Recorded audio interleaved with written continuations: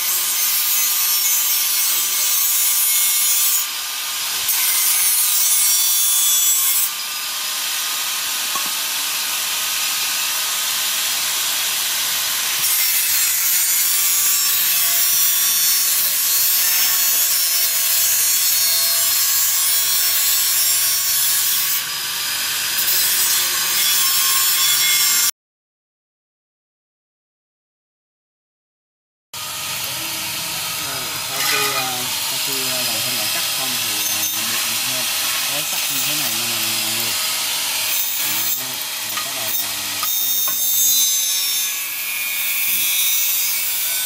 sau khi cắt xong sẽ được những cái những cái khối đều như thế này. Gì? Vậy biết có điện á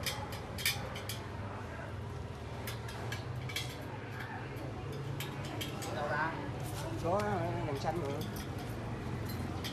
Con giải mà.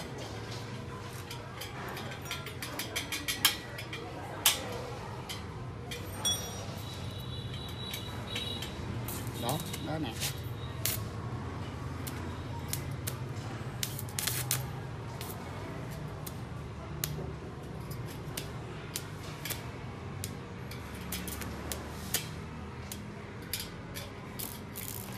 Quay quay nói lần cái gì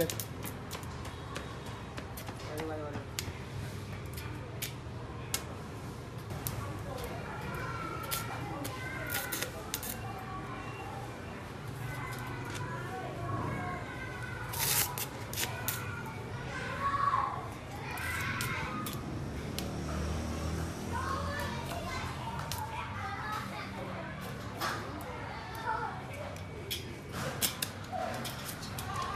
làm cái món gì đây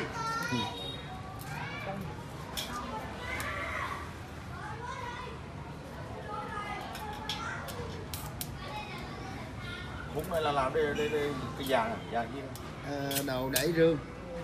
Đầu đẩy rương.